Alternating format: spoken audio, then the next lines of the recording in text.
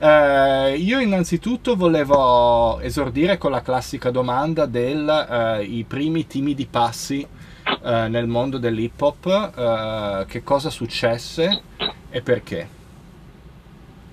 Allora, successe che ci si scambiava le musicassette alle scuole medie, eh, io portavo sempre eh, gli Anthrax piuttosto che, cioè andavo dagli Anthrax agli Skid Row, non si capiva bene, un po', sì. un po di, di, hard rock, qualche roba tamarrissima che mi passavano i miei amici di periferia, di Cesate, e poi arrivò questo ragazzo qui con una cassetta chiamata Apocalypse 91 dei Public Enemy che Ba- cioè, da- basta, proprio basta. Qualunque altra cosa, basta. E lì dove c'è I Can Trust It, no? Esatto, esatto. Che... Poi figurati, c'era anche il pezzo con gli Anthrax, Bring the Noise, quindi io già ero agganciato a quel filone per colpa dello skateboard e, e basta, è stato proprio amore al primo ascolto. Certo. Assolutamente. Poi troppo diverso da tutto il resto che mi sentivo. Cioè, qua, eh, aveva un cos'era, po', cos'era un po' delle canzoni tamarre, aveva quella carica del rock, aveva, aveva tutto, ma tutto diverso. Qual era il resto che ti sentivi? Mm, quello che andava per la maggiore di base, cioè ascoltavo un sacco di, di, di, robe di commercialate che passava la radio e poi tutte le robe che gravitavano attorno al mondo dello skate, quindi uh, rock, punk rock, uh, grind, e tutte queste suicidal tendencies e via dicendo. Ah, interessante. Tu pensi che questo sia un normale um, processo di educazione all'hip hop? Cioè, nel senso, c'è molta gente che in Italia è venuta dalla punk, new wave, eccetera. Tu ti riconosci in questo e pensi che sia normale, cioè che sia una parte dell'evoluzione che molti giovani hanno avuto? Ma guarda, nel periodo in cui ho iniziato io, sì, penso che fosse abbastanza normale, nel senso che forse quel, quel genere lì era un po' eh, la musica che si andava cercando quando si, si rifiutava tutto quello che era uh, mainstream, cioè quando, quando, cominciavi ad andare a scavare un po' si presentava quella roba lì, poi molti dei miei coetanei andavano in skate, io sento molti, molti ragazzi, molte persone della mia età o anche un po' più giovani che comunque si sono avvicinate all'hip hop tramite lo scambio di cassette durante l'epoca dello, dell'età dello skate, mm. quindi eh, sì, insomma, era una roba che, che, succedeva. Forse, diciamo, in quel momento lì lo skate eh, era un po', eh, diciamo, quello che è successo alla break negli anni Ottanta, forse che ha avuto quel momento di esplosione mm. eh, incredibile, quindi molti sono partiti poi da quel filone lì, credo. E quindi poi dopo da, diciamo, da, da, da quell'album dei Public Enemy che rappresenta secondo me già un periodo maturo della loro oh. militanza politica, Uh, tu che cosa hai iniziato a fare esattamente? Qual è stata la, la, la, molla che ti ha spinto a fare le prime cose? Le compagnie, gli amici, la crew, eccetera? Allora, sì, fai conto che io ho iniziato, prendevo il treno tutte le mattine e vedevo pezzi ovunque, sui treni, sui muri e, e nella pratica, diciamo, nell'ascolto ho iniziato con i Public Enemy, nella pratica ho iniziato eh, sbozzettando su, su, vari quaderni e prendendo spray eh, a caso nei colorifici e, e andando in giro sui muri un po' in linea così, però era una roba che facevo prettamente da solo, poi ho scoperto che in classe mia al liceo c'era altra gente che ascoltava lo stesso genere, che eh, gravitava attorno diciamo, a queste robe qua che mi piacevano, ma che ancora non conoscevo come hip hop, erano robe che mi piacevano semplicemente. E, e poi ho cominciato invece a farlo in maniera sistematica quando ho conosciuto le prime persone, eh, diciamo, attraverso questa cosa qui, no? quindi non perché erano mie, miei compagni di classe o amici che avevo conosciuto, eh, ma attraverso quello che facevo ho conosciuto delle altre persone e quindi ho imparato a riconoscere poi eh, sai, le discipline classiche che tutte facevano parte di una roba più grande, via dicendo. E Galeotta fu un'assemblea di istituti, no, Galeotta fu un'autogestione nella quale arrivò questo ragazzo di Saronno di nome Scream, mm. eh, che è uno dei miei primi mentori, eh, che mi parlò ampiamente, diffusamente di questa roba qui, conosciuta come hip hop, e, e lì insomma mi si è aperto un mondo, fai conto. E poi scava, scava, scava, scava, scava, scava. Ecco, E, e quindi diciamo, in, um, in che anni, di che anni stiamo parlando? Scusa se, perché io per me le cronologie, visto che ti devo, mettere, allora, devo metterti che... nel libro, quindi sai come. Ah, beh, beh, beh, beh, beh, beh. Uh, io ti parlo già degli avanzati 90, eh, mm. quindi fai conto che boh, la prima cassettina mia prodotta da tutta la crew come lavoro corale era mm. del 96, quindi l'epoca di cui ti ho parlato finora, diciamo dal 92 al 94 più o meno, giù di lì. Sì, ecco. credo. Sì. ecco. Um, poi dopo di questo, uh, diciamo, cosa hai iniziato a fare in maniera proprio professionale, diciamo, e quali sono state le difficoltà tecniche incontrate a fare quello mm. che è stato il balzo in avanti, secondo te? Allora, fai conto che l'epoca in cui è, div- è passata dall'essere un- una passione di un ragazzotto di provincia a qualcosa di più concreto è stata l'epoca di Bologna. Io ho studiato lì per una decina d'anni e lì non è che dici ok, sì, mi piace fare la musica tra la lava da prendere le farfalle. Lì in Bologna c'era la situazione o dentro o fuori mm. e se vuoi stare dentro vai pedala forte, no? E mm. quella roba lì per me è stato un bello stimolo fino ad arrivare, diciamo, ai miei eh, primi, al mio primo prodotto ufficiale. Ho fatto una serie di demo, ho continuato a fare una serie di demo con la crew che avevo a Bologna che si chiamava Horror Vacui e poi c'è stata, diciamo, la stagione del To The Beat, dalla quale poi ho incominciato a pensare al primo mio lavoro ufficiale che si chiamava Ipnosi Collettiva. Eh, ci ho pensato a farlo solamente dopo aver capito che potevo starci dentro e potevo pedalare forte, insomma. Da cosa, l'hai capito, da cosa l'hai capito questo nel dettaglio? Qual è stato il punto o la ragione per cui sì, io posso stare con le mie gambe in piedi in questo ambiente? Il confronto, il confronto, fai conto che per me c'è stata tutta la prima stagione quando io non ero ancora a Bologna dove eh, vedevo di base questi miti, questi mostri sacri inarrivabili che erano praticamente tutto il panorama dell'hip hop italiano classico. Eh, dopodiché quando ho cominciato invece a conoscere qualcuno di loro, a confrontarmi, a scambiare idee, ho capito che senza presunzione potevo anch'io dire la mia, dare nuovi spunti, stimoli eh, e via dicendo e quindi in quel momento ho detto ok posso fare una roba perché voglio aggiungere la mia visione a questa roba qui, eh, non perché semplicemente sono un appassionato o, o, o amo questa cosa, mm. eh, roba lecita, però insomma mi sentivo in dovere di, di poter eh, reggermi, cap- capisci?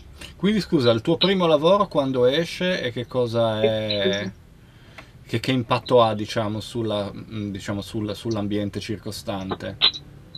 Allora, il mio primo lavoro musicale esce nel 2011, l'11 settembre del 2011, che si chiama Ipnosi Collettiva, ed è stato il mio primo CD edito da Relief Records.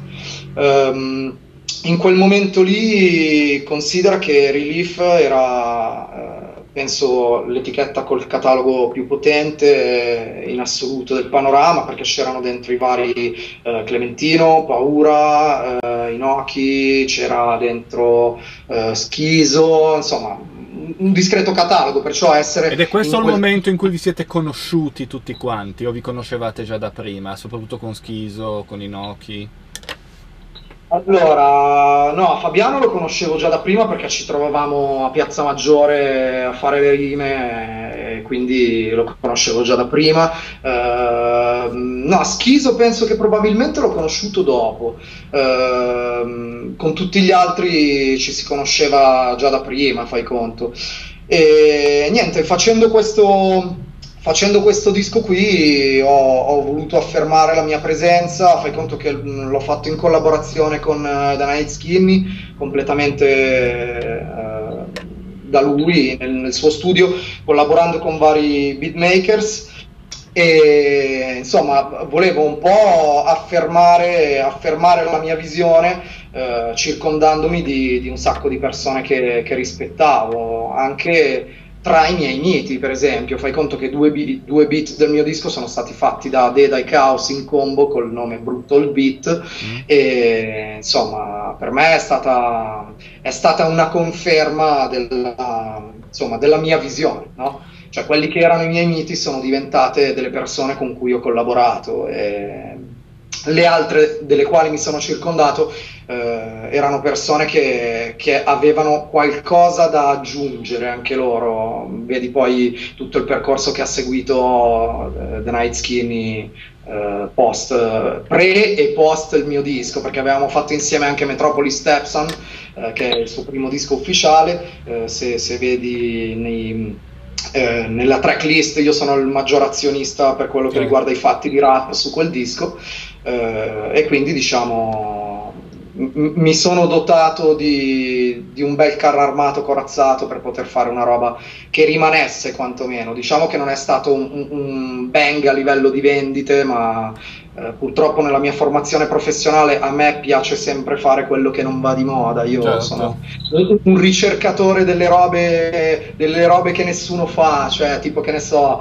Eh, eh, la, la, roba Anticon e, e Def Jax e Rockus in tempi non sospetti me l'andavo a cercare e andavo matto, no? quindi certo. anche la mia certo. produzione poi è, la, è, la, mm, è lo specchio un po' de, dei miei gusti musicali, della roba che mi ascolto. Dicevo, non è stato un, un botto a livello di vendite, eh, però diciamo che tante persone mi hanno dato dei feedback importanti anche all'interno del panorama del genere. Certo, e Innanzitutto, che atmosfera regnava in studio quando tu dici collaboravo con i beat? Questa collaborazione si estendeva proprio al mettere le mani sugli strumenti assieme ai programmatori o si, si limitava semplicemente ad una scelta di gusto, come dire no, preferisco il clap, preferisco lo snare senza il clap, equalizzalo così, equalizzalo con la etch? Allora, no, io fai conto che non ho, non ho, una formazione professionale su tutto quello che riguarda il fare beat, cioè io produco ma in maniera molto intuitiva, uh, mi diverto con le macchine eccetera, perciò diciamo che ho lasciato uh, carta bianca ai produttori che nella maggior parte dei casi invece mi hanno cucito il beat sul testo, uh, cioè io andavo lì con, uh, con, con, delle idee o delle liriche, magari una strofa già pronta, eccetera, e dicevo guarda ho questa roba qui da sottoporti perché secondo me uh, potrebbe, potrebbe, essere nelle tue corde. E via dicendo, come è stato per esempio nel caso di... Uh, Luigi, sì, nel caso di Luigi gli avevo fatto sentire il testo de- della canzone che si chiama M e lui mi ha dato una roba mega soul, mega soulful e eh, le, le, due cose si sono sposate. Uh, a livello di produzione, come ti dicevo, ho lasciato realmente carta bianca perché uh, non ho la competenza tecnica, diciamo. ti posso dire se il beat incontra il mio gusto o meno, ma uh, non mi permetto di andare certo. più al di là. Ed è una cosa che dico, ho imparato lavorando alla copertina del disco, perché cazzo io volevo mettere bocca a tutti i costi sulla copertina, e invece nel momento in cui ho smollato il colpo e ho lasciato il grafico che è Massimo Bob certo. eh, la- lavorare come voleva lui, eh, è uscita la bomba. Allora ho detto ok, questo sarà il mio metodo di lavoro, arriva fin dove puoi, poi il resto lascia ai professionisti. Certo, eh sì, eh, sì, infatti più o meno è così, ecco, anche, poi vabbè varia a seconda.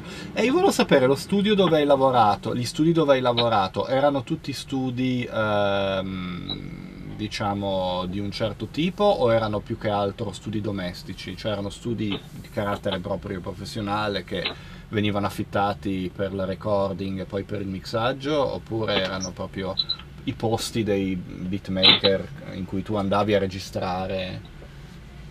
Allora, considera, per quel lavoro lì ufficiale, ovviamente per dargli un'impronta, come dire, solida, eh, ho fatto tutto da Night Skinny. Nel corso invece della, eh, della, mia evoluzione mi è capitato sin da subito di lavorare in studi piuttosto, come dire, ben messi, no? nel senso che c'era questo ragazzo qui che... Eh, c'erano due persone, uno che è Double T e uno che è NES, che proprio mi venivano a prelevare eh, a Saronno con la macchina, mi portavano a Legnano quando io ancora stavo veramente facendo i primi esperimenti, i primi passi e questi due ragazzi avevano uno studio che non era un home studio, era proprio un bello studiolo autocostruito, per carità, però con tutti i crismi del caso. Eh, tanti altri progetti invece li ho, li ho portati avanti eh, in home studio e poi ovviamente si spedivano le tracce separate a chi aveva i macchinari ed era in grado di gestire eh, un mix e un mastering. Um, meglio di quanto potessimo fare noi. La mia ultima fatica, per esempio, Drum Machine è stata registrata tutta in una camera da letto, per dirti. La tua, la, scusa, la tua, la tua camera da letto o quella del, del beatmaker? Quella di Blow B, che non è neanche lui il beatmaker perché è Apoc che ha fatto tutti i beat, ma insomma Blow B ha una buona scheda audio e un microfono che spinge e quindi abbiamo deciso sì, perché no, poi insomma sai, siamo comunque la roba è stata fatta nel 2015, quindi dai, a, a questo punto se uno ha un buon orecchio e quei buoni accorgimenti si riesce comunque ad arrivare a un prodotto che, che sia a, a, un livello di ascoltabilità buono, insomma. Ecco, quali sono secondo te um, i beatmaker, voglio sapere soprattutto i beatmaker che hanno lasciato un segno uh, nella tua memoria, cioè quelli che secondo te sono, che hanno lavorato con te, che sono veramente eh, storici dal punto di vista individuale, soggettivo tuo? Allora, uno su tutti, Night Skinny, ovviamente. Eh, abbiamo eh, lavorato insieme per tantissimi anni, a più riprese ci sentiamo anche oggi e, e eh, guarda, lui secondo me è quello che ha saputo raccogliere un'ottima lezione, nel senso che io l'ho conosciuto che era un pischello attraverso un mio coinquilino di Bologna l'ho visto salire a Milano, fare il suo corso per tecnico del suono, professionalizzarsi e diventare insomma uno standard, perché oggigiorno eh, non si può dire che non lo sia, è diventato uno certo. standard. E in tutta, in tutta la sua produzione eh, devo dire che nonostante ci siano robe che incontrano il mio gusto e altre che non lo incontrano, comunque il suono è, è, è sempre di qualità, perciò direi che con lui diciamo, è quello con cui ho sviluppato il feeling più forte in assoluto. Ecco. Ecco, una cosa che ti, ti, ti, fa, diciamo, che ti facilita molto la registrazione, ad esempio, è quando in studio eh, ti viene creato un beat che ha un tiro funk oppure quello che, che, è più importante per te è il suono più che il tiro o una combinazione delle due cose. Qual è il tipo di sound che ti dà più la voglia di um, esprimere il suo testo su di esso?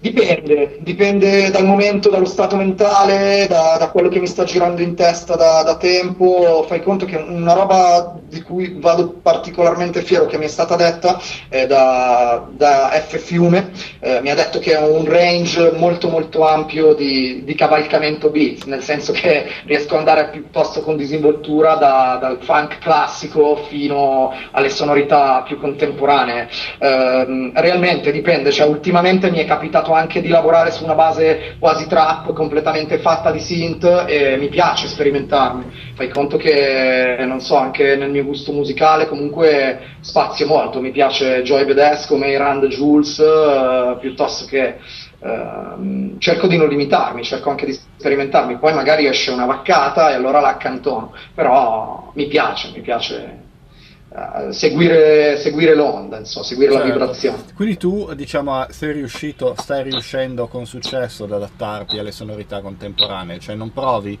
eh, una, una, spaccatura tra quello che, è, quello che hai assorbito all'inizio della tua carriera e quello che effettivamente sta, si sta trasformando a livello proprio di stilismo musicale nel mondo. Guarda, devo, devo essere onesto e dirti che comunque faccio un po' fatica a, a stare appresso a delle robe che non mi appartengono, ma dipende più da eh, realmente dal, dal, gusto musicale che, che, dal, che, dal, tempo, secondo me, cioè nel senso che la grossa distinzione che faccio solitamente è tra eh, roba di qualità e musica di merda, però anche lì certo. eh, fino a un certo punto poi si rientra sempre nel campo del gusto, capisci? Eh, quello, è... sì, è quello, difatti Difatti è quello che io faccio fatica nei miei episodi, cerco di limitare questi, eh, queste, queste, descrizioni al, al, minimo perché proprio so che parlo io, se parlassi un altro probabilmente avrebbe un altro gusto.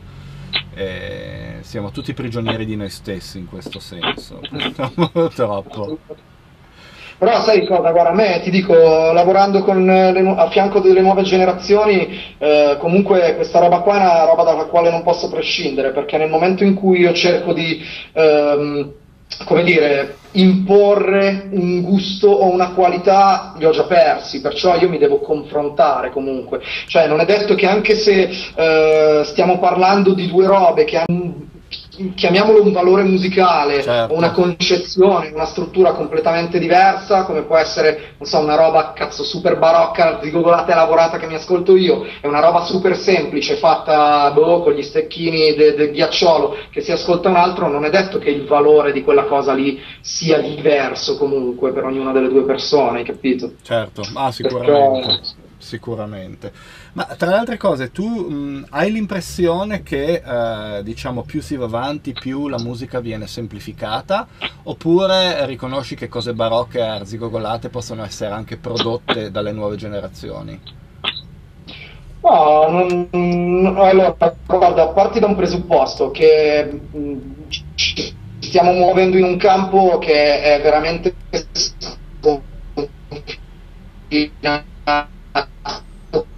quanto l'universo, perciò eh, qualsiasi, eh, tra, qualsiasi, linea che venga tracciata, che va a, al di fuori della prassi, è cosa buona per me, no? come ti dicevo prima, mi sono sempre andato a cercare le robe che nessuno faceva appositamente, perciò eh, non ci sono limiti, cioè eh, chiunque, anche chi ha prodotto delle robe super ricercate, può produrre una roba semplice eh, che però spacchi e sia me- mega comunicativa, eh, così come è, è possibile e, ed efficace anche un percorso di, diametralmente opposto, non, penso che non ci siano limiti.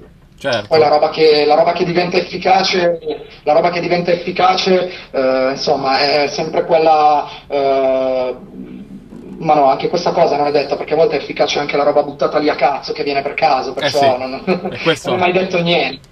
Il fatto è che non si sa mai, cioè quando uno fa le cose non sa mai quello che avrà più successo e quello che avrà meno successo. E come la spieghi tu? Prego, prego, dimmi. Eh, scusami, la roba dell'onestà secondo me è fondamentale. Cioè, se uno fa le robe perché gli escono naturali e gli piacciono, sai, cioè, è ovviamente una banalità del cazzo, no? Certo. Però, sai, cioè, esiste anche, esiste anche il, il, forzato che poi va, eh? Cioè, magari uno si sforza a fare una roba e poi, wow, viaggia hai capito? Eh, certo, certo. Non so, per, per quel che riguarda la, la roba, eh, visto che comunque non, eh, non, ho un capo che mi sculaccia se non faccio il mio dovere, faccio il cazzo che mi piace e vado sempre nel, nel giusto, capito? Certo, certo. E senti, cosa ne potresti darmi dei dettagli sulla um, tua conoscenza e del diciamo, rapporto che hai avuto con Schiso, le esperienze, le cose che vi siete scambiati, soprattutto visto che eri in un invito di una cosa molto importante, poi sicuramente ne hai fatte molte altre, ma vorrei che mi dettagliassi un pochino il vero nucleo dell'hip hop uh, in questo senso, cosa se ne prova a farne parte, il tipo di situazioni che avete incontrato, soprattutto nei live in questi eventi, e, diciamo, il, il, tipo di esperienza che hai fatto anche tu grande, con questi grandiosi professionisti enormi diciamo, dell'hip hop italiano. Allora, considera che eh, come ti dicevo prima, prima di relazionarmi con queste persone io ho avuto bisogno di formarmi, mh, mm, prima sì. di tutto, nel senso che ehm, formarmi come persona e come artista, mm, i due percorsi vanno, vanno proprio di pari passo. No?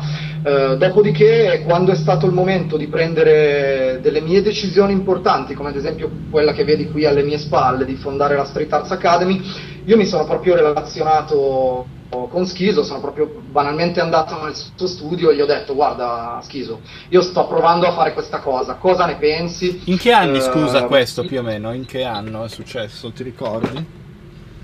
2013, ci ah. siamo costituiti nel 2014, sì è roba recente, eh? è roba recente.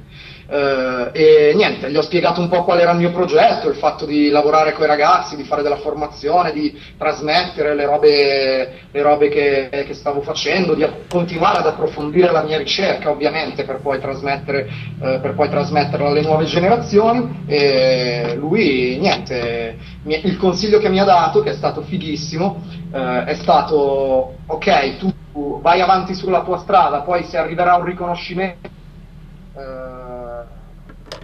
vai avanti sulla tua strada, no? E quello per me è stato, come dire, eh, un, un, rinforzo anche al mio discorso, perché una delle persone che io avevo come punto di riferimento in, nelle robe che facevo eh, ha, ha apprezzato il mio sforzo per stare in piedi.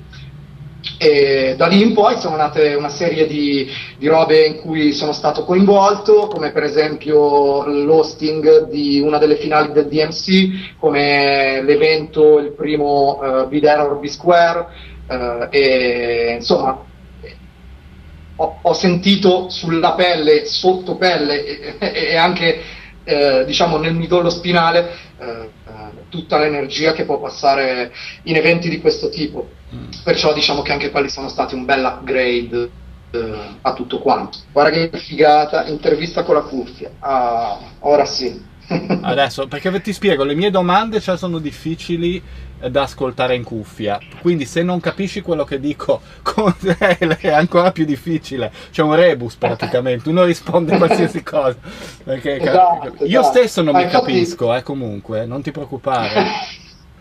Io stesso non capisco quello che dico, per cui non so se qualcuno avrà, mi dispiace per chi mi ascolta eccetera. No, però guarda, quando, quando mi, hai chiesto, mi, hai chiesto, di fare il collegamento, io sono stato molto felice perché guarda, dal non capire tante cose che si dicono, escono delle gran figate tra una chiacchiera e l'altra. Io seguo, seguo, i tuoi post con molto molto interesse, anzi guarda, oggi pomeriggio mi stavo vedendo giusto la puntata con DJR, molto molto interessante. Ah, grazie. No, io invece mi guardo le vostre pagine, ho visto la tua e ho visto anche quella di Lord Madness e di altri ragazzi molto attivi e, e, visto che l'hip hop lo fate tutti, non è che lo fanno in quattro, e bisogna, inter- bisogna chiedervelo a tutti perché ognuno di voi ha delle cose da dire e io spero solo di riuscire adesso ad includere tutti quanti, di non dimenticarmi nessuno, perché sai com'è, sto già 49 anni, la testa che va come va, eh, non posso neanche pensare di avere quella grande eh, memoria enciclo- enciclopedica, per cui tu parlando e facendomi i nomi di tanti tuoi colleghi mi ricordi anche, ah, devo parlare di questo, ah, devo parlare di quello, devo approfondire quella cosa lì per capirne di più, eccetera, eccetera. Quindi adesso arriviamo Beh. Fortunatamente, fortunatamente da un sacco di anni questa roba qua, tanti dicono che è morta, sì è spenta, ma boh, cioè io non, non, riesco a vederla questa morte, cazzo c'è sempre un casino di gente, un sacco di amici con cui condividere palchi, microfoni, beats e, e tante esperienze potentissime, perciò boh, tu quindi... faccio sempre un po' le spallucce quando mi dicono sta roba. Sì, perché io vedo, io vedo dai tuoi post e quelli di altri che ci sono sempre degli eventi, ad esempio adesso ero capitato qualche giorno fa uh, su un, uh, un, post Juice Jam, tu lì ci sei andato, no? Ecco, mi racconti Devo un po'. andare a luglio, cazzo, quella lì mi è una racconti un po' che cos'è? Roba, vedi, una di quelle robe che per me, cazzo, leggevo solo sulle fanzine, ci sono andato a un Juice solamente ed era cazzo, presenti come arrivare nel paese dei balocchi, una roba proprio cos'è sta cosa qui? E cazzo mi hanno chiamato per partecipare, per me, uh, cioè. certo. E in quel caso la preparazione per eventi così prestigiosi come la, come la svolgi? il solito training di prendere la roba migliore che ho e comporre questo quadretto, diciamo, questo quadro incompiuto, nel senso che prendo il materiale che in quel momento è quello che mi rappresenta di più della mia produzione e, e parto col mio zainetto carico di, di, figate, dopodiché metà zaino lo lascio vuoto per poi arrivare lì e fare incetta di esperienze, improvvisazioni varie e via dicendo e ritornare su con l'altro mezzo zaino carico che mi servirà per ripartire per la prossima avventura, insomma. Per chi, chi, si chiedesse cosa sta succedendo, questa è la seconda parte dell'intervista a Mastino che è stata divisa in due parti per questioni tecniche e anche per questioni di immagine. Guardate qua che bello studione che c'ha. Eccolo qua. Anni anni di attrezzatura accumulata con fatica, ah, il mio ecco. angolino di divertimento. Perfetto, adesso ti sei fregato con le tue mani perché adesso mi dici che cosa sono quelle cose che hai dietro, perché sono lì e da quando eh, è nato, uh, ad esempio, che so, il tuo primo amore per il giradischi o il tuo primo amore per uh, il primo mixer che hai preso, la batteria elettronica, il campionatore, eccetera, eccetera. Ok. Ok, allora andiamo in ordine, partiamo da questo lato. Allora, ho i due giradischi acquistati, uno mi è stato regalato, è un, gira- un Technics d'ascolto, eh, poi c'è questo mixerino che ho fregato eh, a mio cognato, coperto da una mitica maglietta regalata a uno dei miei figli. Ah, ecco. Che tra le altre cose, scusa, sono anche quei bambini che ho visto in un video tuo? Esatto, sì, tre di quelli che hai Non visto nel tutti. video mio con Esa sono i miei. Non tutti. Non tutti. ecco, che erano un po' tanti, vabbè. Ci stiamo lavorando, però per quello sarà necessario che qualcuno stacchi degli assegni mensili, Ah. perché altrimenti non ci stiamo dentro, però... eh, Capisco. Poi abbiamo quest'altro Stanton che invece mi è stato, dico venduto, ma praticamente regalato, sempre dallo stesso cognato che mi ha ceduto il mixer, un amplificatore che invece ho comprato io con tanta fatica, un MPC 2005, nuovo acquisto recente, arrivato direttamente dallo studio di Night Skinny per un prezzo veramente così. E Interessante. poi abbiamo una mitica Tascam, un controller che mi fa anche da scheda audio e con il quale registro tutte le mie. Lì abbiamo un mixerino per il microfono, per l'alimentazione Phantom, là nell'angolo e basta, tutto qui. Quindi C'è tu- qualcuno che mi ha detto che mi vuole regalare anche un compressore, io la, la tengo lì questa Ah, cosa, ecco. vediamo cosa succede. Ma quindi tu prima di mettere il naso fuori di casa ti fai tu le tue basi, sperimenti tu, eh, diciamo, i tuoi beat, eh, crei il flow automaticamente posando la voce sulle cose che fai tu. Allora, qui faccio degli esperimenti, in realtà non mi sento ancora pronto per proporre i miei esperimenti all'esterno, eh, quelli da qua dentro. Diciamo che, come ti dicevo già nella prima parte dell'intervista, il mio è un approccio amatoriale alla cosa, anche se mi piace comunque approfondire, però eh, anche per il tempo limitato nel quale mi ci posso dedicare alla produzione, eccetera. Mi piace un sacco collezionare dischi, ecco, quello sì, anche a me. Ehm, è una roba che è nata mh, diciamo da- dai miei primi ascolti. Prima non, eh, non collezionavo vinile collezionavo cd guarda puoi vedere forse se alzo un po' vedi là in alto Ah, bello, bello. i cd e poi c'è dall'altra parte della stanza c'è un altro mobile che è molto molto pieno. Eh, e ho cominciato così con i cd poi all'epoca di Bologna invece è nata questa passione per il vinile sempre dal mio coinquilino che saluto. Ciao Nico e, mm, è nata la passione per il vinile, poi ho cominciato a frequentare eh, il Trix Shop, il negozio di Gofer e via dicendo, più i vari mercatini dell'usato, perché attorno a casa mia, quando abitavo in zona ospedale maggiore, c'erano tre mercatini dell'usato, nei quali facevamo tanti spedizioni dischi. settimanali. E, e ho cominciato a collezionare dischi, a spaziare un po' di più tra i generi musicali, soprattutto a scavare un po' nelle radici della musica italiana che conoscevo veramente poco perché mi ha sempre fatto gran lezzo, come si dice in gergo. Eh, invece poi ho scoperto che c'erano delle robe veramente, veramente potenti nella nostra discografia, è, è stato tutto molto interessante. Tu intendi Continua ad ovviamente, non intendi la roba mainstream o intendi le robe soul funk della discografia italiana o intendi anche quelle mainstream? No, intendo, mm, come ti dicevo, ho questo amore viscerale per eh, le strade poco battute, quindi sono comunque eh, tendenzialmente alla ricerca in quel, filo- in quel filone lì. Eh, per quello che riguarda l'italiano, per esempio, mi piace scavare nelle librerie di prog rock, che erano delle, ehm, delle musiche che ascoltava mio padre ai tempi, ma che io non riconoscevo. Mio padre era un grande ascoltatore delle orme, per esempio. Ah, sì, sì, Ehm, sì, sì, sì. Beh, per- quindi sì, è tutta roba molto... sono suoni vellutati, strani, eh, armonie Esatto. molto azzardate, ricerche... Così anche mi piace scavare nei, nei compositori nostri più, più celebri, da, che ti devo dire, Alessandroni piuttosto che, Certo. Eh, insomma, Quindi tu i, hai- i compositori degli anni 60-70. Hai capito che c'è una marea di, di creatività nascosta sotto un- uno strato molto spesso di mainstream che sembra tutto uguale, l'unico esistente, no? Sì, esatto, hai detto bene, il tutto uguale a me, il secondo ascolto di una roba che assomiglia all'altra mi ha già sfavato dopo 30 secondi, eh, molto onestamente. Poi mi piace invece però sentire l'ispirazione, quello sì, mi piace eh, il fatto che se io ascolto una roba ci sento dentro delle altre robe che ho già sentito eh, perché sento che c'è sopra della ricerca. Eh, non mi piace sentire il faccio quello perché suona come. Certo. Quello. Il tuo primo timido approccio sul digging, quindi, è stato, è stato come un amore a prima vista o è stato, oh cielo, guarda tutta sta roba che devo ancora comprare?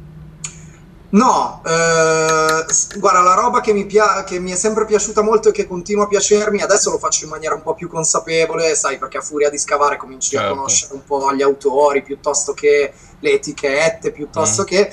Ehm, prima avevo, come dire, queste, andavo un po' con, con la cabala, no? Cioè il disco che arrivava da me, non ero io che andavo a cercare certo. il disco, capito? E quindi mi, mi, piaceva molto questa roba, magari io tornavo a casa con questi 10-15 dischi da 50 centesimi, un euro l'uno che dovevo ripulire, sai c'era tutto il rito della pulizia mm. dalla polvere e via dicendo e poi quando finalmente mettevo sulla puntina e scoprivo che cosa era arrivato da me eh, un po' per, per uh, questa legge karmica mi chiedevo cazzo ma allora no, sto suonando bene o non sto suonando bene per cui non mi è arrivato il disco giusto allora mm. devo impegnarmi di più nella ricerca e nello studio di quello che faccio e vedrai certo. che buona musica arriverà da sola queste cose che ti devono arrivare è un concetto ricorrente nella tua ideologia? No, non troppo. Di solito sono io che me le devo andare a prendere. Anche quando arrivano è perché ho fatto le mosse giuste per farle arrivare. Mm, pensi che nel digging ci sia un elemento di fortuna, ad esempio, di difficoltà proprio per la grande quantità di cose? E in questo senso ci sia in un certo senso una casualità? Oppure tu pensi che si possa essere degli ottimi digger avere un sesto senso per capire la zona? Cioè tu ad esempio riesci a capire ah se vado qua oggi anziché vado là? Perché il digging è una eh, componente. eh, guarda no quello, quello, no nel senso che comunque dove vai vai capita dalla tornata di dischi che hanno sotto mano in quel momento no? Poi invece ovviamente per scegliere fior da fiore lì ci va della capacità. Eh, diciamo che puoi cercare di indirizzare bene questa fortuna, no? Però eh, ovviamente poi anche le copertine più tamarre del pianeta e insignificanti possono regalare delle figate nascoste. E allora parliamo un po' delle figate nascoste in ipnosi collettiva. Uh, okay. Quante figate nascoste ci sono in ipnosi collettiva, degne di mistero supremo? Ci sono molti riferimenti a pellicole conosciute e meno conosciute. Fai conto che eh, il mio primo amore a livello artistico è stato quello del cinema. Io mi sono trasferito a Bologna per andare a studiare cinema e quindi diciamo che la nobile arte, ha un po' influenzato tutta la mia visione anche nelle cose che faccio adesso. Tutto lo storytelling nel quale mi cimento è sempre molto cinematografico. Uh, per esempio, uno degli ultimi che ho scritto sono due storie esattamente speculari, alle quali pensa. Per, per ritornare al fatto della fortuna, eh, ho chiamato questo storytelling ehm, ad un passo dal paradiso ah. e nelle mie ricerche poi ho scoperto che c'era un film, una pellicola sconosciutissima con questo nome che parlava dello stesso argomento perché praticamente è un attentatore che, che, si fa saltare in aria, mentre il mio storytelling è sia l'attentatore che, sal- eh, che, non si fa saltare in aria e diventa un family man, e viceversa il family man che ah, diventa capito. un attentatore, no? E quindi, insomma, ipnosi collettiva è un po' pieno di questi riferimenti cinematografici, anche nella copertina. Uh, se tu vedi che, che, richiama un po' Essi vivono con tutte quelle facce un po' uh, sì quasi da zombie e, e anche tutto l'immaginario eh, diciamo post-futurista, steampunk e via dicendo, anche quello è tutto preso da pellicole che, che mi sono piaciute un sacco. Diciamo, nella... amo per i fumetti, per i manga, per esempio. Nella mia interpretazione, magari anche sbagliata, di quella che è la, il, tuo, il, concetto espresso in ipnosi collettiva, no? Secondo te eh, esiste proprio un'ispirazione o comunque un legame con quello che è il eh, metodo contestativo che la vera cultura hip hop ha sempre avuto nei confronti della realtà mainstream. Sì, eh, c'è, c'è, questa roba qui, è innegabile, un po' perché è, è, quello che mi succede quando vado a scavare nelle librerie di musica. Molto spesso eh, la musica che ehm, nella quale ritrovo, come ti dicevo prima, lo studio e l'ispirazione delle, delle, musiche precedenti, un po' come fa un inventore, no? Un inventore non è che si sveglia la mattina e dice ciao, che inventa un genere, si rifà a tutti certo. gli ascolti precedenti e aggiunge il certo. suo. Quando io sento questa roba qui, solitamente eh, l'ascolto non è tra gli le cose che vanno per la maggiore. Non lo escludo. Può capitare che ci sia questa cosa anche in una roba, eh, in una roba mainstream. È difficile, devo dire, statisticamente è difficile per quello che, che, che posso vedere io. Eh, ma sì, come ti dicevo, eh, solitamente gli ascolti che mi capita di fare nel mainstream sono cose piuttosto semplici e semplificate, uh, proprio per questo, per, uh, per attrarre, diciamo certo. così. Un po' quella è l'ipnosi, secondo me. Certo, e, mm, sì, perché io, effettivamente io penso che almeno fin quando sono vissuto in Italia questo era un meccanismo molto potente no? quello di, di, di, mostrare cose estremamente semplificate, eh, non so, io anche l'informazione stessa, la, la, cavolata che disse Morgan in televisione dicendo che l'hip hop era nato nell'82-83 e che è nato nelle, nelle stanzette degli italiani, o ad esempio le persone che ci dicono che l'hip hop è nato solo per far soldi. No? Che è, una, è, un, è, uno storytelling che ovviamente ha una finalità specifica, no? Um, tu in questo album hai voluto anche centrare questi argomenti, cioè avevi, avevi già chiara questa polemica o era molto, o, diciamo, il centro della tua polemica un altro? Allora, mm, diciamo che avevo ben chiare queste cose e mm, vediamo un po', fammi pensare. Se... Allora, c'è un, un, pezzo che si chiama Inno Nazionale Personale che parla un po' di questo atteggiamento eh, nei vari aspetti della vita, non solo in quello musicale, e che poi si riflettono anche eh, nell'aspetto musicale, ovviamente. Questo è il, è il, brano, così come anche il brano. Ehm, che non c'è sul disco, ma che si chiama Ipnosi Collettiva, che io ho messo online, prodotto da Staber. Eh, questi sono i due testi che parlano più, in maniera più diretta di questa roba. Eh, ovviamente il sottotesto è un po' presente ovunque, no? Um, diciamo che uh, sì, um, la mia ricerca in questo momento è cercare di non escludere nessuna possibilità, ok? Quindi se prima era un pochino più, uh, come dire, no, ok, questo, questa è la mia visione delle robe e um, quello che c'è, lo vedevo proprio come una contrapposizione. Certo, eh sì, questo lato, il lato opposto.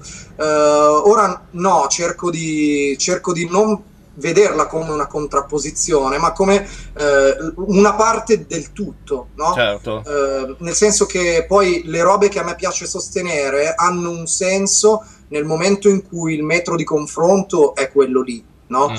Uh, o quello lì insieme a tanti altri, mm, altrimenti uh, rischio di cantarmela e suonarmela, capisci? Non, cioè tu dici che vuoi prendere anche in considerazione quella che è la controparte, cioè la parte che ti sta opposta e vuoi avere un atteggiamento più misurato e considerare tutto in un insieme dove ci sta un po' tutto per avere una visione più chiara, non vedere solo come contrapposizione, cioè i giusti, i, i buoni e i cattivi. È quello che... Esatto, allora diciamo che um, più che farci stare dentro tutto, perché poi anche questa roba qui è rischiosa, no? Ovviamente. Certo. Più che farci stare dentro tutto, eh, ti direi di non escludere delle possibilità a priori solamente perché sembra che siano qualcosa, certo. no? Capito? Eh, perciò per dirti che ne so, ehm, anche, anche, le robe che piacciono a me, per dirti che ne so, un, uh, prendiamo l'ultimo caso, Rand Jules, mm. ok? Rand Jules ha delle sonorità che io fino a qualche anno fa avrei proprio detto no, non, ri- cioè, certo. non riesco proprio a sentirle. E invece girate in quella chiave lì di cui ti parlavo prima, con dietro mm. una ricerca eh, potente, delle, delle, motivazioni fondamentalmente per cui vengono fatte le robe, per cui certo. io ci certo. sento dentro la potenza della motivazione. No? Certo. Um, quelle robe lì invece sono ottime, sono veramente ottime perché riescono a mixare il lavoro di ricerca con il lavoro di, di avanguardia o comunque di, di uh, come dire, di attenzione a determinate sonorità che possono attrarre così perché sembrano. No? Cioè, tu mi stai dicendo che con la creatività si riesce comunque ad interpretare anche un testo o un, un contenuto più commerciale in modo da farlo diventare qualcosa di, di, più creativo, di più personale, di più indipendente dal mondo magari apparentemente mainstream da cui esso deriva. Assolutamente, ci sono anche casi eccellenti. Allora, diciamo che in altri periodi storici eh, anche la musica che andava forte aveva un'ottima dose di creatività dentro, no?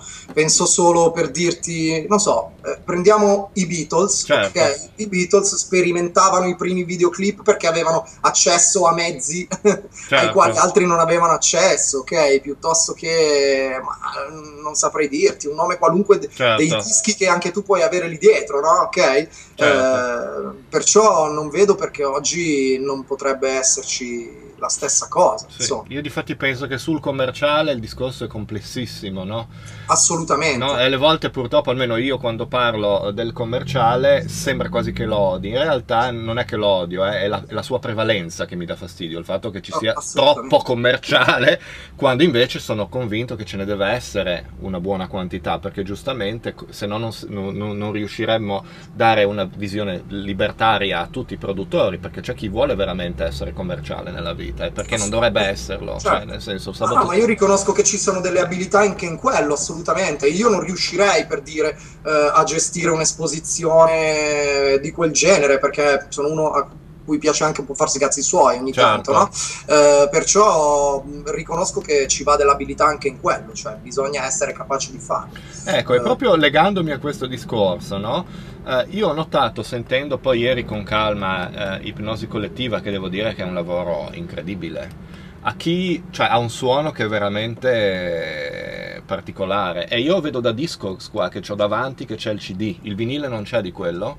No, ho intenzione di capire che fare perché secondo me potrebbe Vabbè, se fai il vinile, se vai il vinile, ma, eh, fammi sapere come avere una copia firmata, bene, se possibile. Sicuro, sicuramente. Perché ha un suono. Magari se ci vediamo da Next One eh, a qualche, ah, qualche stagione, eh, può darsi che te la passerò lì. Dai. Volentieri. Anche perché io da un paio di lavori a questa parte adesso sto stampando vinile a manetta, cioè non faccio più CD o digital. No, no, lo, questo lo sapevo che tu preferivi. Ah, scusa, queste cose che vedo qua su Discogs cioè uh-huh. il primo album, Ipnosi Collettiva, uh, il terzo e poi il singolo, uh-huh. sono tutte cose che non sono mai uscite in digitale o sono uscite in digitale? Perché... Uh, allora, Ipnosi Collettiva ha anche il digitale, sì, c'è su iTunes. Cioè, su, e, l'avete e... dato in digitale? Cioè, Cosa, tu, scusa? L'avete dato in digitale, tu eri contrario? Cioè, te, a te va bene no, metterlo? No, no, no, no, non ero contrario, anzi, cioè, il, mm, non, non, mi precludo questa cosa. Allora, considera eh, che il mio ragionamento è questo. Se devi stampare un supporto, eh, stampo un supporto che eh, sia dentro quello che faccio, ok? Certo. Quindi il vinile, ovviamente, eh, con, con le basi, quasi certo. sempre quando ho stampato il vinile c'erano anche le basi, in modo che il DJ possa prendere la doppia coppia e cattare per il certo. suo MC annaggia voi. e, um, eh, no, piuttosto se devo fare un formato stampo quello il digitale va benissimo perché io vedo tutti i miei ragazzi che si muovono con i telefonini cioè il supporto di ascolto certo. è il telefono ok mm. uh, perciò poi se vuoi il cd rippati il digitale voglio mm. dire c'è certo. l'alta qualità no certo. quindi uh, rippalo da lì e va bene così poi il digitale ovviamente è un modo di comunicare che è iperveloce, velocissimo, eh, si fagocita più che ascoltare, però insomma, eh, giusto stare al passo coi tempi, imparare anche a utilizzare i vari mezzi che vengono messi a disposizione. Certo, io sono comunque sì, sono impressionato anche da questa cosa dei telefoni, non so a te quanto ti abbia segnato questa mm, cosa, mm, perché tu non sei, na- non sei, nato con questo mondo, no? No, per eh, niente, eh, ma sei va, nato prima quando non c'era ancora tutta questa questo telefoname sparso sì. Sì, adesso guarda, eh, infatti è una cosa che sto cercando perché purtroppo la cosa per me si sta ibridando, nel senso che quando sono in giro è anche un mezzo per poter lavorare, scrivere mail e via dicendo. Certo. E, e devo stare all'occhio con quella roba lì, perché poi significa essere sempre immediatamente raggiungibile ed è una roba che... Che non ti piace. No, non, non amo molto, sinceramente anche perché io, io, sono sempre stato convinto che, vabbè, questo è un discorso molto generale, che un artista con la maiuscola, e io penso che, se, che esistano e che sia una definizione legittima, debba avere i suoi momenti di isolamento totale. Perché uh, è, pro- è, proprio nel, è proprio nel vuoto che uno rispecchia la sua arte, secondo me. Cioè non è nello stare sempre, cioè lo stimolo certo è importante, però è anche importante poi rimettere a posto le cose, rispecchiarle, vederle, capirle, guardarle da un punto di vista, no? Cioè almeno io... Certo, sì, il momento di rielaborazione del materiale è fondamentale, anche, anche proprio nell'approccio che io ho alla scrittura. Solitamente se scrivo una roba di getto comunque almeno una revisione gliela do prima di di mandarla in studio. Eh, perciò sì, effettivamente il momento di meditazione è, è essenziale, prima, del, prima, e dopo la battaglia. E quindi arriviamo a Drum Machine, che uh-huh. anche ho sentito con molto interesse. Drum Machine, è, um, tu confermi che a differenza del lavoro precedente... Uh, mostra diciamo, un, un, lavoro diciamo, sui testi più maturo, non c'è un'evoluzione oppure è semplicemente una continuazione? Allora, io non riesco, non riesco, a vedere dei grossi stacchi nella mia produzione, nel senso che ovviamente ci sono coinvolto in pieno. Ehm, li vedo un po' a posteriori, no? i salti salti qualitativi, però sai, c'è chi dice che i rappers continuano a scrivere sempre lo stesso testo, no? gli certo. autori continuano a scrivere sì. sempre lo stesso testo. Eh, sì, io la vedo molto così. Sta di fatto che magari mentre scrivi ti accorgi che certi meccanismi diventano automatici, no? Perciò secondo me il lavoro che abbiamo fatto su Drum Machine è qualitativamente alto, ma il tempo che ci abbiamo messo per farlo è molto breve. Considera che il disco è stato ehm, concepito, scritto e lavorato nel giro di una settimana.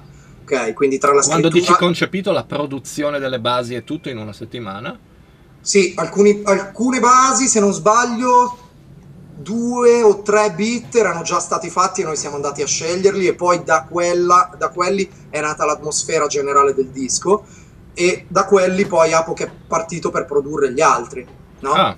Quindi abbiamo scelto i primi tre così in maniera istintiva e tutto il resto è venuto di conseguenza, proprio perché in quel periodo io avevo un periodo particolarmente, eh, come dire, favorevole a lavorare con i ragazzi a stretto giro, eh, Bloby uguale, Apo che per tre giorni e abbiamo lavorato in maniera pesante, proprio full immersion, no? Figurati che anche quando io ero al lavoro ci mandavamo le strofe certo. con Blow via WhatsApp, ce le cantavamo, ci facevano sentire la roba e poi ci ritrovavamo quelle 4-5 ore al giorno per registrare, ragionare sui pezzi e via, abbiamo chiuso tutto in maniera molto molto breve. Questa formazione tu la vedi anche per il futuro, cioè una formazione che è già ormai collaudata e con cui ti trovi insomma a tuo agio, ti muovi artisticamente in maniera da sentirti scorazzare liberamente, non, non hai vincoli? Cioè sei... No, assolutamente, anzi guarda la figata è che eh, po- posso chiamarla la mia crew perché comunque veramente abbiamo avuto delle esperienze eh, assieme di live, poi dopo il disco, ma anche durante durante insomma, la gestazione del disco eh, ci siamo sempre trovati molto bene, no? con i limiti di ognuna delle persone, con i modi di fare che abbiamo comunque eh, limato, perché siamo tutti abbastanza maturi per poterlo fare. Certo. E ti devo dire che sicuramente tornerà la formazione, così come anche sicuramente ognuno di noi baderà ai propri lavori solisti ed è la prima volta che mi capita di farlo senza conseguenze. Questa cosa Ah, perché prima dici sarà, avrebbe costituito un problema a livello di pubbliche relazioni, tu dici? Eh, sì, è successo varie volte nel, dire, nel mio passato che comunque quando in maniera più marcata, quando meno ehm, queste, diciamo queste questi allontanamenti ehm, hanno, hanno dato delle conseguenze in qualche maniera nel rapporto con le persone. Pensi che sia normale nel mondo dell'hip hop che ci siano scambi di partnership, eccetera? Assolutamente, penso che sia fondamentale, cioè, mm, non lo so, allora, eh, così come Così come ci sono le mega crew come il Wu-Tang che sono una figata certo. e che sono un po' il sogno di tutti, no? che durano una vita. Certo. Eh, esistono anche tantissime collaborazioni anche all'interno di crew del genere, no? Certo. Eh, guarda, non so, per dire, Resa che fa un album con tutto certo. il mondo, no? Per dirne una. Eh, così come è giusto che ognuno com- com, come dire, coltivi il proprio percorso artistico. Certo. Poi, anzi, secondo me è proprio una ricchezza. Poi, quando vai a rimettere il lavoro insieme, ognuno porta la sua esperienza, il suo stile all'interno di un discorso più ampio ed è Mm. una figata perché se fossimo tutti con lo stampino, la roba non andrebbe bene. Bene. Probabilmente in passato stavamo ancora un po' tutti studiando, noi stessi e quello che ci circondava, per poter fare un discorso di questo tipo. Certo, quindi tu dici che dal, non so, già dal secondo o il terzo prodotto, dal terzo album, tu ti vedi più aperto nei confronti del mondo e la possibilità quindi di intrecciare eh, diverse, svariate esperienze lavorative. Ho imparato ad esserlo e allora già da prima considera che eh, venendo da un piccolo paese di provincia dove non c'era nessuno che faceva sta roba, eh, la mia mentalità era già diretta, diciamo, verso, questa, verso questo indirizzo, nel senso che comunque gioco forza, se volevo farlo dovevo collaborare con qualcuno e andare a conoscere in giro le persone eh, e via dicendo. Eh, c'è stato un periodo, proprio i periodi in cui invece cominciavo a formare i, i primi legami, le prime crew. Vieni qua. Oh, dai un salutino. Ciao! Ciao, come stai? Bene, Ah, come ti chiami? Ryan, Ryan. Ah, Ryan, io sono Paolo, piacere di conoscerti, Ryan. Ah? E far la pappa, dai. ok. Fai una buona pappa. Oh, là. Sto facendo un'intervista, tesoro, poi arrivo anch'io. Chiudi la porta, grazie. Ti stavo dicendo, proprio nel momento in cui formavo le crew, questa roba qui veniva un po' a cadere perché mi sentivo un po' nel mio ambiente familiare, quindi pensavo che tutto, tutto potesse andare eh, in quella direzione, forse anche un po' per questa, per questa mia esagerazione. Poi, quando era il momento di aprirsi verso altre cose, le robe non andavano sempre benissimo, no? Eh, però niente, no, poi ho scoperto che è fondamentale, poi ho scoperto le band, gli strumenti, ragazzi. Ah. eh, E lì com'è stato il- l'amore? Cos'è successo? Eh, da- dal primo- dalla prima scoperta, diciamo, la consapevolezza di poter usare queste cose. Cos'è successo in pratica? Allora, eh, ti parto dagli albori, ma molto velocemente arrivo al Certo. giorno d'oggi. Considera che al liceo, quando si faceva musica, c'era sempre la band di persone con le quali provare a rappare, no? Certo. Però va tutto un po' a rage, veniva un po' tutto rage against the machine, capito? Invece poi quando ho cominciato a conoscere i primi eh, strumentisti veramente coi contro, eh, lì ho cominciato a capire che, che si poteva fare di tutto. Per esempio, una delle robe più forti che mi ricordo di aver fatto è stato un eh, open stage gestito da Gopher con Bruno Briscic che suonava il basso e, e altre persone su- sugli strumenti e, e si gemava proprio palco aperto con la band che, che improvvisava e ognuno saliva e faceva un po' quello che gli pareva. Quando ho fatto quell'esperienza lì, proprio viaggio senza ritorno, sono sempre andato a cercare cose di questo tipo. Non lo so, fino ma se, se fino sei- all'ultima comparsa sul disco dei Black Beat Movement dove, dove ho fatto una strofa e loro hanno suonato tutto Io, quanto. io sono, io, vabbè, io vedo che c'è un'affinità enorme tra il, modo, il mondo, mh, diciamo, artistico che tu esprimi e quello di Schizo e quello di altre culture, diciamo, no? Cioè, Mm. una- date un'importanza estrema, come tra altre cose anch'io, alla musica, in se- intesa anche in senso di performance. Specialmente tu hai nominato la differenza tra, artisti, tra, tra musicisti capaci e musicisti meno capaci. Mm. Eh, tu, tu quindi mi confermi che nel momento in cui hai scoperto dei musicisti molto capaci hai capito la possibilità di lavorare con loro per poter esprimere mille cose diverse e quindi esplorare campi eh, che effettivamente possono essere diciamo Sconfinati, sconfinati in, in senso di qualità.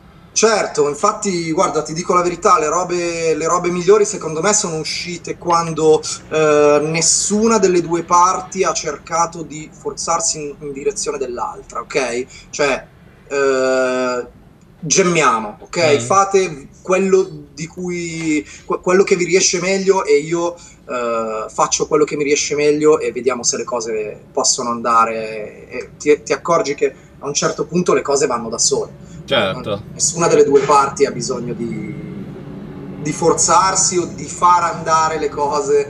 eh, cioè, è un, un unico cuore, capisci? Certo, che comincia certo. a battere. Mi fa piacere. Ciao, ciao. Tu saluta ogni tanto, eh, non ti preoccupare, ok? Va bene. Bellissimo, Uh, va bene, guarda, io sono molto contento della chiacchierata che abbiamo fatto, ho raccolto veramente un sacco di informazioni. Se c'è ancora qualcosa che tu vuoi dire in relazione ai progetti attuali, ai progetti futuri, alle jam che tu adesso visiterai, alle esperienze che farai con i colleghi, eh, diciamo se c'è qualcuno di, di, di grosso con cui collaborerai in futuro, eccetera. Allora, guarda, ti, ti, dico due robe in cui sono completamente assorbito in questo momento, che sono i miei quattro EP ispirati dagli elementi, uno è già uscito, quello con F. Fiume, il prossimo sarà con Herrera, mm. che è un beatmaker di Pisa molto capace, e ehm, gli altri due allora, ognuno degli EP è associato a un elemento naturale e a una disciplina dell'hip hop, ok? Quello con Fiume era fuoco, questo con Herrera sarà acqua, poi ci sarà terra con DJ Ugly, che è il mm. mio DJ storico, e l'ultimo di Aria con Ice One.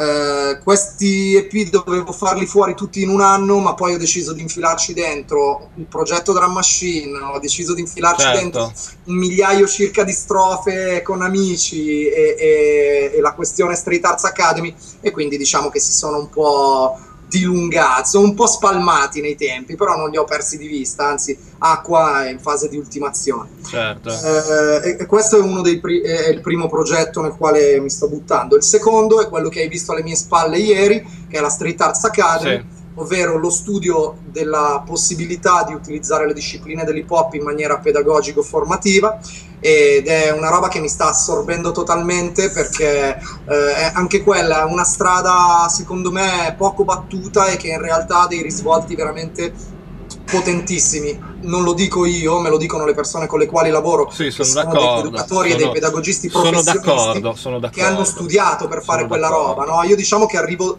dall'altra parte del discorso. Cioè, a me, ho, io ho avuto l'occasione di farlo in maniera pratica prima che teorica e poi quando ho incontrato chi lo fa eh, in maniera professionale mi hanno detto ah cavoli ma con le cose che fai, le cose che dici tu citi delle teorie pedagogiche che sono veramente all'avanguardia io ho detto bene non ne ho mai sentita una mi fa molto piacere no? quindi adesso cerco di dare un po' come dire un rinforzo a questa parte di lavoro che mi piace molto e che mi permette di, mm, di, fare, guarda, mi ricollego all'ultima cosa che stavano dicendo ieri. Tu mi chiedevi come ti prepari ai live, agli eventi. Certo. In questa maniera qua, cioè io con, eh, eh, cercando di trasmettere questa roba in maniera sistematica ho a che fare con le nuove generazioni, con persone forti, col fatto di dover trasmettere delle robe alle quali io tengo tantissimo, magari in un contesto di persone alle quali di quello che faccio non me ne frega una mazza, e mi prepara tantissimo questa roba certo. qua, che mi fa confrontare faccia a faccia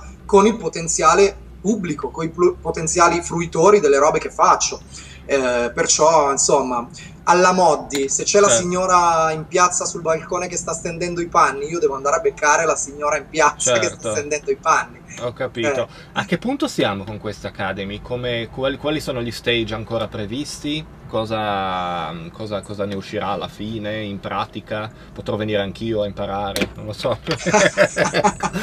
allora, guarda, eh, essendo un ente che si occupa di formazione, eh, a me interessa che ci siano delle persone che vogliano formarsi in primis, ok? Io ho bisogno di formarmi, perché una delle robe che abbiamo messo, ad esempio, è eh, la capacità di andare a scavare tra le fonti in magneta, ok? Ah, e io fatto, questa fatto, roba la sto mm, studiando. Ho fatto giusto un episodio adesso che si chiama L'importanza delle fonti, ma vabbè, prego. Ah, ok, prego, sì, ho visto il titolo, ma non l'ho ancora visto. Stasera prego, me lo vado a guardare stasera me lo vado a guardare.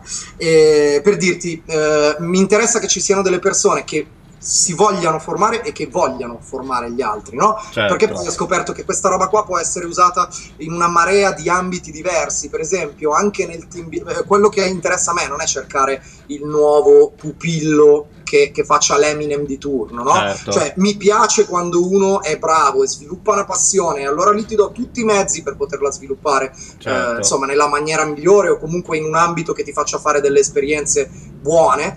Eh, così come mi interessa questa roba utilizzata anche un po' fuori dal contesto. Per esempio, per lavori di team building, ok? Tu porti l'esempio della crew o di un DJ e di un MC che collaborano per Certo. produrre eh, una roba nuova e questa cosa qua forma le persone. Quindi questa roba qua serve per passare dei messaggi molto difficili, complessi anche un po' pallosi in maniera divertente. Che è Certo. una roba, insomma, forte, una roba potente, capito?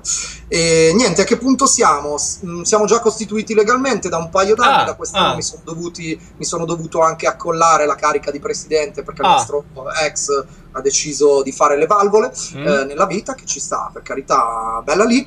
Eh, quindi da quest'anno io ho questa carica, L- l'ottica è quella di trasformarci in cooperativa, cioè di Certo. procacciare lavoro e crearlo per altre persone.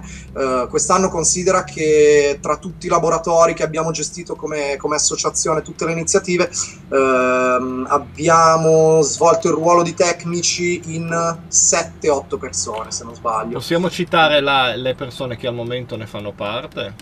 Ok, allora, eh, il CDA è composto da me, dal vicepresidente che è Pange di Serious Sting, il, ehm, il sound eh, del Leoncavallo, eh, c'è DJ Vigor, eh, c'è Valentina VDV, c'è Fuji, c'è Sick Bud, c'è Ale Led dei numeri 2, eh, insomma, siamo tutti artisti, alcuni di loro fanno anche gli educatori. Resmo, per esempio, Hot in Public, che è un writer, anche lui fa l'educatore. Eh, insomma, il CDA è composto da queste persone. E poi ci sono eh, una serie di persone che fanno parte dell'associazione, i soci come ad esempio Lino Speranza, che è un b-boy, come ad esempio Darietto Farmbeat, eh, che mh, ci, ci aiutano dal- sia dal punto di vista tecnico eh, che dal punto di vista insomma degli agganci e co- collaboriamo con una serie di persone che sono un po' tangenziali all'associazione. L'idea è proprio quella di costituire un nucleo di Mm. persone solido alle quali, alle quali piaccia fare questa roba qua. Diciamo un po' tutti lo facciamo in maniera eh, un po' istintiva, no? Eh, lo scopo è quello di dare una forma a questo istinto, di farlo in maniera seriale per, per produrre delle, delle robe potenti, perché poi alla fine quello che ne esce sono delle feste della Madonna, eh, delle conferenze incredibili come quella che abbiamo fatto a Zam, per esempio, eh, su, ehm, sul diritto d'autore, sul diritto alternativo d'autore, alla SIA, che- no, dove hanno che ne- partecipato anche i ok. ragazzi di Control. Ho capito, mi sembra è che ne ne ho vista una, però non so se era la vostra, dove spiegavano all'interno ad una comunità hip hop eh, i diritti connessi, i diritti di composizione, eccetera, queste cose qua. Mhm. No, sì. Dei quali tu sei esperto, tra l'altro. Ma quindi- in- per la legge inglese, però non per la legge Ok, italiana. ok. Però immagino che siano molto simili perché sono risultati di un'armonizzazione di direttive di una comunità europea che tra poco non ci sarà più. Esatto. Diciamo, mettiamo senza la vena polemica. Eh, vabbè. Esatto, Eh, però sai, anche lì effettivamente andare a studiare anche i sistemi, anzi la figata di studiare un sistema diverso da quello che si conosce è proprio quello di prenderne le parti buone e, e annetterle poi alla prassi, no? no, Cioè, sì, sì, sì, ah, è, è il meto- il metodo scientifico, no? come Eh, si dice. È il metodo scientifico, cioè vedere quello che non è come quello che tu conosci e poi alla fine è implicito che nella tua testa, anche non volendo, cerchi di istituire paralleli e paragoni tra le due cose. È esattamente.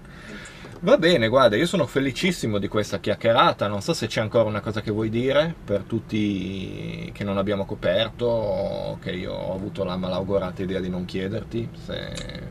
No, guarda, direi che ho detto tutto, il fatto di uh, ascoltare sempre tanta buona musica e, e di, come dire, farsi del bene vivendo in mezzo all'arte e alle robe positive, penso che sia, insomma, che, che sia passata per tutta l'intervista, spero almeno che sia passata per No, tutta no, no, no, devo dire che ho avuto un- un'impressione di vitalità e di attivismo incredibili. Cioè, hanno fatto un album in una settimana, hai dei fai fare 4 EP, cioè voglio dire, non so, fanne 10, visto che ci sei. Ma quasi quasi prendo, prendo come buono il tuo consiglio. Poi, tra l'altro, eh, quest'anno sono andato anche a tampinare Next per provare a fare delle robe in combo. Vedremo cosa succederà nel futuro. Beh, allora tienici aggiornati e se poi è il caso di fare un update, eh, lo facciamo io lo faccio molto volentieri perché il fatto che abbiamo chiacchierato una volta non vuol dire che il prossimo anno o, o quando c'è una cosa importante che tu vuoi dire non, non sia possibile. Ecco, a me fa sempre piacere ricevere. Grazie per l'invito.